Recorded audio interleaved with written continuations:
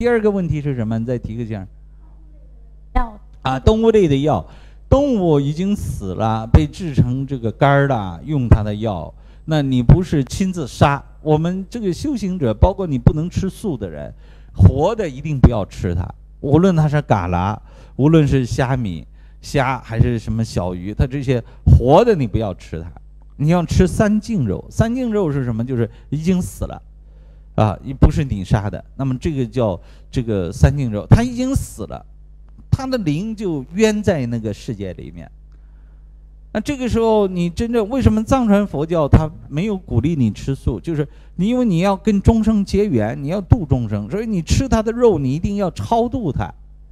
你要吃，你不是光吃肉香，那吃肉没味道，是为了有能量修密法。你这个将来修密咒要坤的里，要着火升起，说是那你没有这些动物脂肪，你转化不了着火。或者你着火生的不够猛，那这些都有它的这个科学道理在里面。包括东密、日本密修法也不主张吃素，啊，但是通通都不让你吃这个现杀生的，不可以杀生，啊，这个是不可以自己杀。那喇嘛专门有一个僧团，他是要给动物这批牦牛要杀，这批羊要杀，他要给他念经，念经，念经以后超度，呃，劝说老牛老牛啊。你永远做个畜生，一辈子是个牛，没有意思。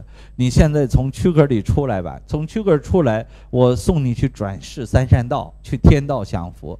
哎，这都有咒啊，我翻译翻译，大概是这个意思。那个牛说啊，好啊，终于解脱了，你送我走吧。他一刀把他捅死了，然后，哎，你要有这个神通力跟他沟通，他愿意，愿意捐，把这个肉体捐出去，利益大众。啊，他是这个道理，他没有怨恨了，他不是做变成牛鬼了，天天跟着你，对吧？你吃牛肉，他变成牛鬼了，后面两个大脚，走哪都这么跟着你，那怪可怕的。牛鬼，对吧？马头马马面，牛头马面，是不是？那么你吃它，你不超度，他就怨恨。所以大家要重视这个，这是道理。那么你动物的这个尸体，这个做药的蝎子啊，什么蜈蚣啊，这些，它已经死了。它是毒虫，死了呢，它的神识未必能够得到解脱。说你在用药之前要帮他念往生咒，帮他超度，帮他写牌位，然后超度走了以后，他要感恩你，感恩你，他把这个呃他的这个尸体上面的毒，他又能帮到众生，他又做了功德，说这一举好几得。但是你如果是不去超度他，直接用药，那业障肯定是背。钱进了你口袋了嘛？他就跟着钱就进了你身体了，啊，所以这个是肯定是要背这个债的。